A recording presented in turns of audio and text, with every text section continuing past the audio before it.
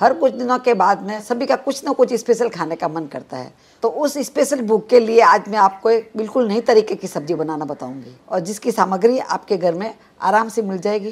तो नमस्कार, papa mummy kitchen में आप सभी का स्वागत है। इसके लिए यहाँ पर मैंने एक पैन लिया है। पैन में सबसे पहले एक टेबल स्पून जितना तेल डाल देते हैं और गैस को चालू कर देते हैं। अभी तेल हमारा गर्म हो गया है। आँच को हम धीरे कर लेंगे। अभी मैंने तीन लौंग लिए हैं, जिसको इसमें डाल देते हैं। पाँच सात काली मिर्ची ली है, ये बीस में डाल देते हैं। दो मैंने हरी इलायची ली है, जिसका मैंने मुँह खोल दिया है, ये बीस में डाल देते हैं। इसी के साथ एक दालचीनी का टुकड़ा डाल देते हैं और एक तेज पत्ता का पीस डाल देते हैं। ये मसाला हमें थोड़ा थोड़ा डालना, पर इसका फ्लेवर बहुत अच्छा आएगा और सभी को हमें धीरे आँच में पका करके तैयार करना है। ये सभी खड़े मसाले अच्छे से पक गए हैं तो यहाँ पर मैंने एक बड़ी साइज़ का प्याज लिया है, जिसको मैंने इस तरह से लच्छा में काट लिया है। ये इसमें डाल देते हैं और प्याज को हम अच्छे से पका लेंगे। ये मैं तेल में बना करके तैयार कर रही हूँ, आप चाहे तो घी में भी बना सकते हैं। मसाले पकाते समय आँच को ज़्यादा तेज़ नहीं रखें। धीरे आँच पे पका करके तैयार करें जिससे ज़्यादा अच्छे बन करके तैयार होंगे। इसी के साथ मैंने एक इंच अदरक का टुकड़ा लिया है, जिसको इस तरह से चिप्स में काट लिया। ये इस पर डाल देते और दो मैंने हरी मिर्ची ली है, जिसको मैंने लंबा लंबाई काट लिया है। हरी मिर्ची और अदरक भी इसी के साथ में थोड़े पक जाएँगे।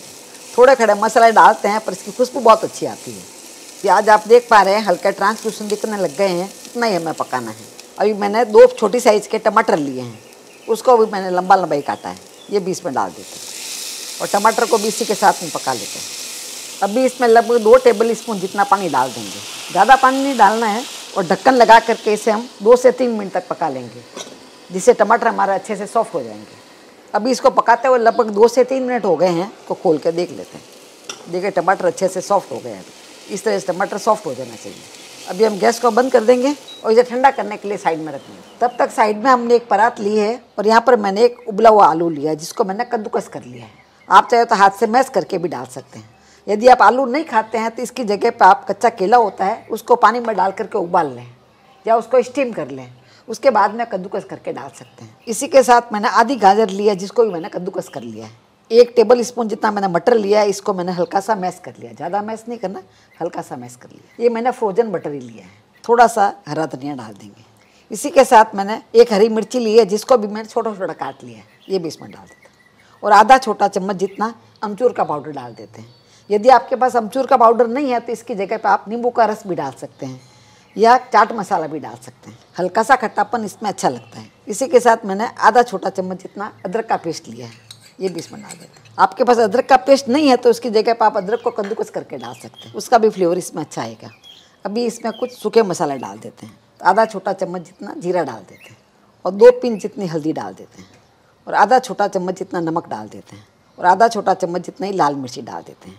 ये मैंने कश्मीरी लाल मिर्ची ली है जिसका कलर अच्छा आता है पर तीखापन ज़्यादा नहीं होता है और सभी को अच्छे से मिक्स कर लेते हैं। ये रेसिपी बहुत ही अच्छी बनकर के तैयार होती है और खाने में बहुत स्वादिष्ट होती है। इस तरह सबको अच्छे से मिक्स कर लिया है। अभी इसमें थोड़ा थोड़ा करके हम बेसन डालेंगे। तीन टेबल स्पून जितना बेसन पहले डाल देते हैं। एक साथ में ज़्यादा नहीं डालें।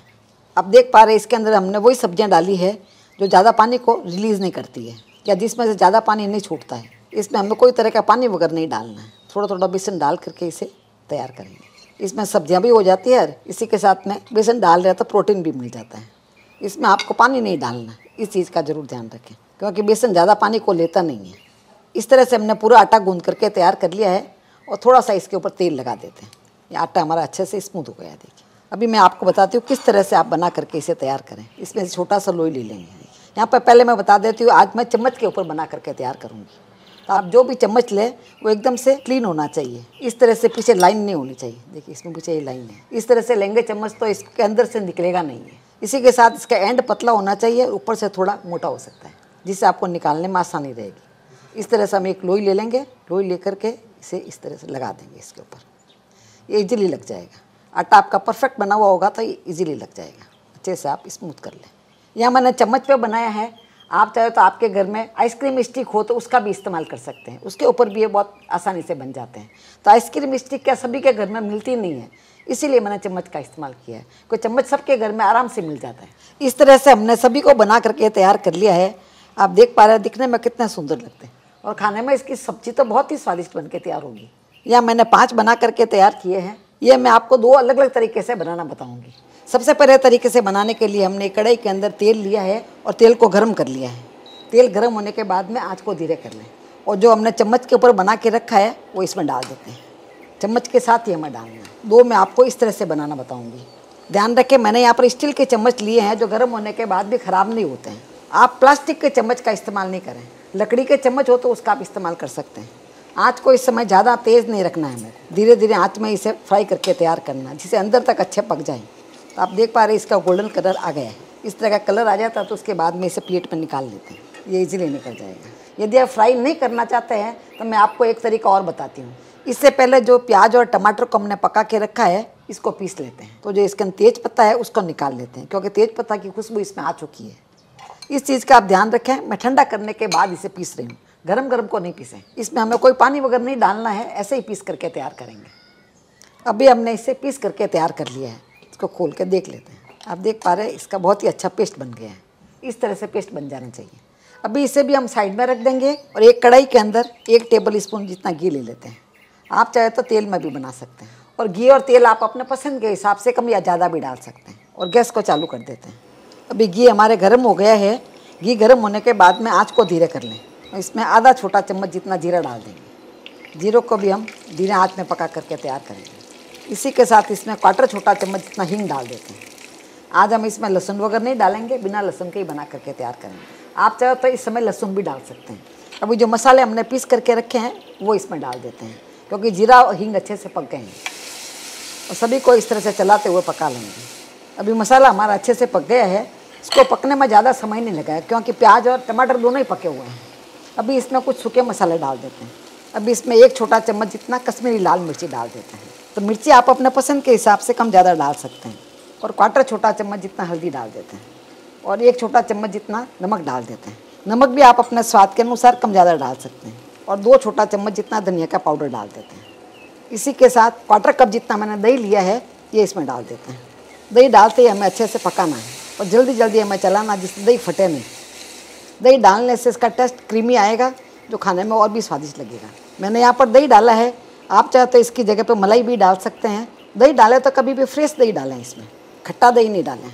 मैं इसमें मलाई नहीं डाल रही हूँ, क्योंकि मैं दही हमेशा भैंस के दूध का बना करके तैयार करती हूँ। इसलिए उसमें से मलाई निकालती नहीं हूँ। इसी के साथ मैंने एक छोटा चम्मच जितना कसूरी मेथी लिया है, ये भी इसमें डाल देते हैं। कसूरी मेथी का फ्लेवर इसमें बहुत अच्छा आएगा। अभी इसको मैंने पाँच मिनट तक और पका लिया है। पाँच मिनट में आप देख पा रहे हैं धीरे धीरे इसमें से घी छूटने लग गया है। हल्का हल्का घी छूटने लग जाता है, क्योंकि हमने एक टेबल स्पून ही घी डाला था। इसी के साथ जो दही के अंदर भी घी होता है, वो भी छूट जाता है। तो मसाला अच्छे से पक गया है। मसाले का कलर भी आप देख पा रहे हैं, काफ़ी चेंज हो गया है। अभी इसमें एक कप जितना पानी डाल देते हैं, और थोड़ा सा पानी हम मिक्सी के जार में डाल देते हैं। जिससे मिक्सी के जार में जो मसाला लगा हुआ है, वो भी इसमें आ जाएगा। कुल मिला के मैंने इसमें एक कप पानी डाला है, और सबको अच्छे से मिक्स कर लेते हैं। अभी ग्रेवी में उबाल आ गया है आँच को हम धीरे कर लेंगे और इसके ऊपर इस तरह से छलनी रख देंगे। ये छलनी सभी के घर में आराम से मिल जाती है और इस छलनी के ऊपर हम थोड़ा सा तेल लगा देंगे। आप घी, तेल कुछ भी लगा सकते हैं। थोड़ा सा इस तरह से लगा करके सब जगह फैला दें अभी जो तीन चम्मच बचे हुए थे, उन चम्मच को इसके अंदर रख देते हैं। एक दूसरे के अपोजिट करके रखें, जिससे आराम से ये पक जाएँगे। अब इसके ऊपर ढक्कन लगा देते हैं और आँच को मीडियम कर देते हैं। आँच को ज़्यादा तेज़ नहीं करें, ज़्यादा तेज़ करें कि नीचे मसाले जल जाएँगे। तो धीरे आँच में हो सके तो स्लो और मीडियम आँच में पका करके तैयार करें आठ से दस मिनट तक पकाएँगे। बीच बीच में आप चेक करते रहे, यदि मसाले के अंदर पानी कम हो गया हो तो आप थोड़ा पानी और डाल दें, जिससे मसाला आपका चिपके नहीं। अभी इसको पकाते हुए लगभग 10 मिनट हो गए हैं। एक बार पहले मैंने इसको खोल करके देखा था। इसमें जो हमने पानी डाला था, वो बराबर था। अभी इसको खोल के देख लेते हैं। आप देख पा रहे हैं, अच्छे से ये पक गए और इधर से सूखे लग रहे हैं। अच्छे से पक जाते हैं तो ये सूखे लगने लग जाते हैं ऊपर से। पर इसको एक बार निकाल करके ठंडा करने के लिए रख लेते हैं। इसी के साथ जो हमने पानी डाल के रखा था, वो एकदम पानी परफेक्ट है। आँच को आप स्लो और मीडियम के बीच में ही रखें, ज़्यादा तेज़ आँच में नहीं रखें। अभी इसमें ग्रेवी के लिए एक कप जितना पानी डाल देते हैं और इसे धीरे आँच में ही रख देंगे। अभी साइड में ये भी ठंडे हो गए हैं, ठंडे होने के बाद में इसे निकालें। तो जो हमने फ्राई करके रखे हैं, उसको पहले निकाल लेते हैं। देखिए आराम से निकल जाते हैं। वो दिखने में बहुत ही अच्छे लगते हैं। आप देख पा रहे हैं इसके बीच में अच्छा होल हो गया है। अभी मैं आपको जो बॉईल करके रखा है, वो दिखाती हूँ। देखिए, ये भी आराम से निकल जाएँगे। अच्छे से पके हुए होता है, आराम से निकल जाता है। इसके अंदर भी बहुत अच्छा होल हो गया है। यहाँ मैं आपको याद दिला देती हूँ कि आपको हमारी रेसिपी कैसी लग रही है। नीचे कमेंट बॉक्स में लिख के हमें ज़रूर बताएँ। यदि आपको अच्छी लगती है तो आप इसे लाइक करें। अच्छी नहीं लगती है तो डिसलाइक भी कर सकते हैं। पर आप अपना रेस्पॉन्स ज़रूर दिया करें। इस तरह से हमने सभी को निकाल लिया है। अभी हमें ऐसे ही यूज़ नहीं करना है। इसको छोटा छोटा काट लेंगे इस तरह से। ये आराम से कट जाएँगे। इस तरह से एक का तीन तीन पीस कर लिया मैंने। और सभी के अंदर देखिए अच्छे से होल हो गया अभी साइड में ग्रेवी में भी धीमे आँच में अच्छा उबाल आ रहा है एक एक करके इसमें डाल देते हैं। वैसे तो ये सारे पके हुए हैं, पर इस तरह से ग्रेवी के साथ में उबाल लेंगे तो इसके अंदर तक क्या है, ग्रेवी चली जाएगी।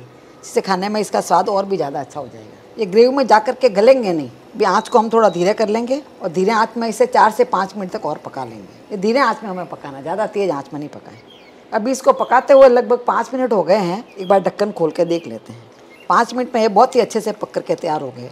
अभी मैं आपको एक निकाल के दिखाती हूँ, देखिए कितने अच्छे फूल गए हैं। इसका मेन कारण ये है कि चम्मच के कारण से इसके बीच में जो होल हुआ है, उसके कारण से गर्म जो ग्रेवी है, इसके अंदर गई है, जिससे अंदर से फूल करके अपने साइज़ से ये डबल हो गए हैं और इसी के साथ काफ़ी सॉफ्ट बन के तैयार होते हैं। आपको मैं काट के दिखाती हूँ, देखिए ईजिली कट रहा देखिए। पर ये गलते नहीं है, ये ग्रेवी के अंदर गलेंगे नहीं। इसी के साथ में जो इसकी ग्रेवी बनी है, वो इतनी रिच और स्मूथ बन के तैयार हुई है आप इसे रोटी, पूड़ी, पराठा, चावल के साथ भी खाते हैं तो बहुत ही स्वादिष्ट लगती है। तो अगली बार आपको भी कभी कुछ स्पेशल खाने का मन हो तो ये सब्ज़ी ज़रूर ट्राई करें। हम मिलेंगे ऐसे ही दूसरे वीडियो में। तब तक के लिए बाय एंड टेक केयर